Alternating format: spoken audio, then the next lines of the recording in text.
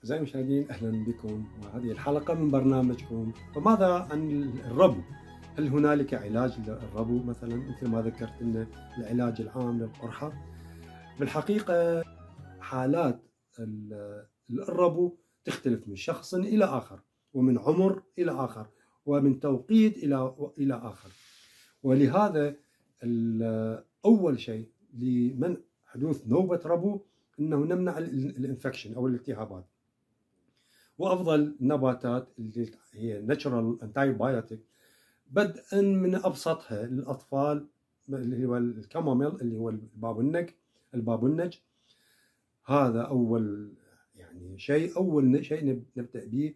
ونضيف له طبعا العاقر قرحة echinacea موجودة من النباتات اللي مستخلصات تباع في الصيدليات natural antibiotic الزعتر ومكونات أنواع الزعتر زعتر البري زعتر الورق زعتر المستخدم بالأكل وال thymol. يعني اللي يحتوي على عنصر ال thymol بكمية كبيرة.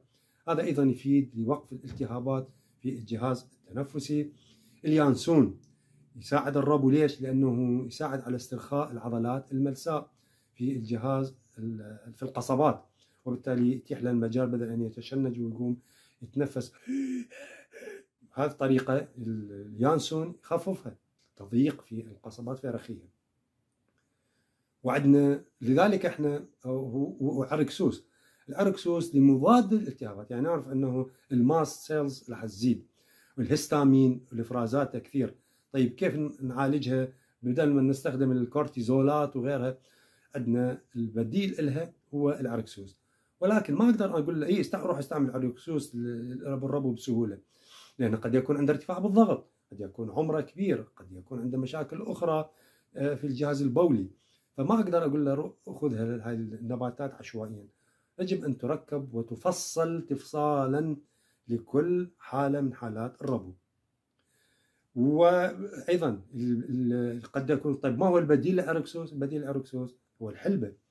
الحلبة على طعامها المر وغيرها لأنه أيضا تحتوي على precursors مثل ما قلنا العناصر الطليعية للهرمونات بادئات الهرمونات اللي تفيد في وقف مثلا الكورتيزول بدل أن نعطي هردي الكورتيزونات الحلبة هي بديل لها الجسم هو يولدها هو يكونها الكمية المناسبة اللي يريدها وبالتالي هيعالج نوبات الربو ويخفف الاحتقانات يخفف الحساسية. والتفاصيل طويلة طبعا والوقت القصير للحلقة ما يتيح لي أن أستمر وأسترسل كثير.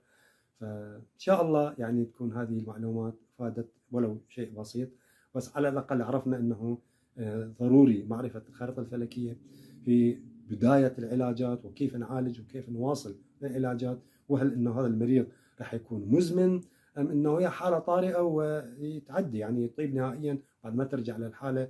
إذا ما عنده مشكلة في برج السرطان القرحة تطيب 100% ما عنده مشكلة في برج السرطان معناها الربو أيضا يطيب 100% وبعد ما يرجع له وهكذا. أرجو تساعدونا بنشر هذه الفيديوهات منصات التواصل الاجتماعي في الفيسبوك في التويتر والتيك توك وغيرها مهما استطعتم أن توصلون هاي المعلومات وشاركون بها. شكرا جزيلا لكم. عسى أنه تكون في ميزان حسناتكم. شكرا لحسن أصغائكم. وإلى اللقاء في الحلقة القادمة إن شاء الله. وأنتم بخير وصحة وعافية. السلام عليكم.